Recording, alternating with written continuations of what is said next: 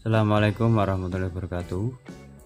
Pada kesempatan kali ini kita akan membahas tentang Bagaimana cara mendapatkan barcode dari Perpustakaan Nasional Republik Indonesia Untuk ditempel di cover buku yang sudah mendapatkan ISBN dari Perpusnas.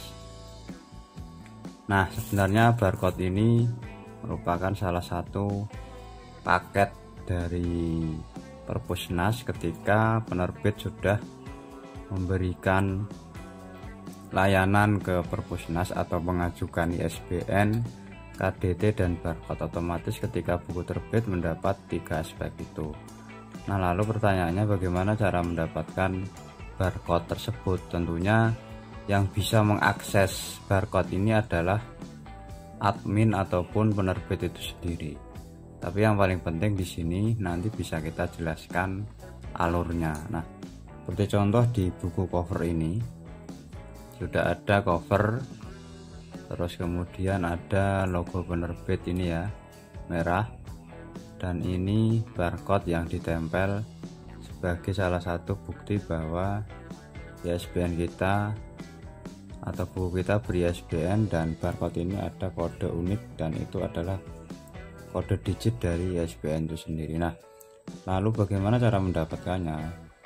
Nah, yang jelas untuk mendapatkan barcode itu kita perlu menghubungi pihak penerbit dan nanti penerbit yang akan memberikan atau memprosesnya atau biasanya ini di layout langsung dari penerbit dan satu paket.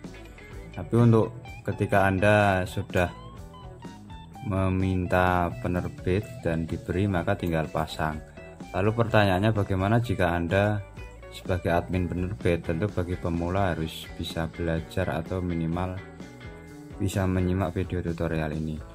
Nah cara pertama anda bisa membuka google atau laman browser anda lalu ketik website perpusnas ya isbn.perpusnas.go.id kemudian masukkan username di sini coba kita contohkan Pilar Nusantara ya. Dan password Anda. Nah ketika sudah diketik username dan password tinggal login. Kita tunggu. Nanti akan muncul seperti ini. Kita tunggu sampai nol ya.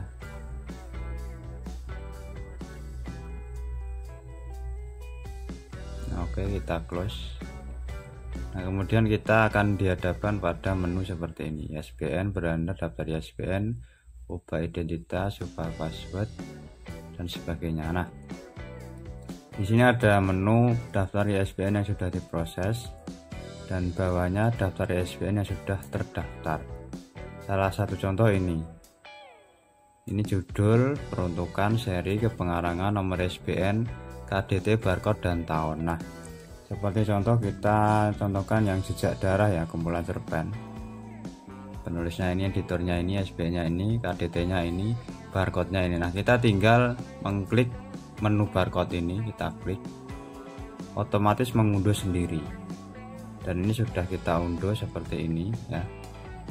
Ini barcode nya bisa kita open nah nanti otomatis menjadi barcode seperti ini.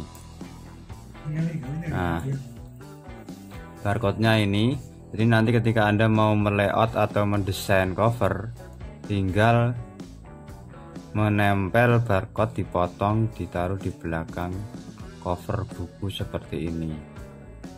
Nah jadi itu untuk cara mendapatkan barcode ISBN dari Perpusnas khusus bagi penulis yang memang tidak memiliki akses bisa meminta admin penerbit yang ia tuju atau yang menerbitkan bukunya.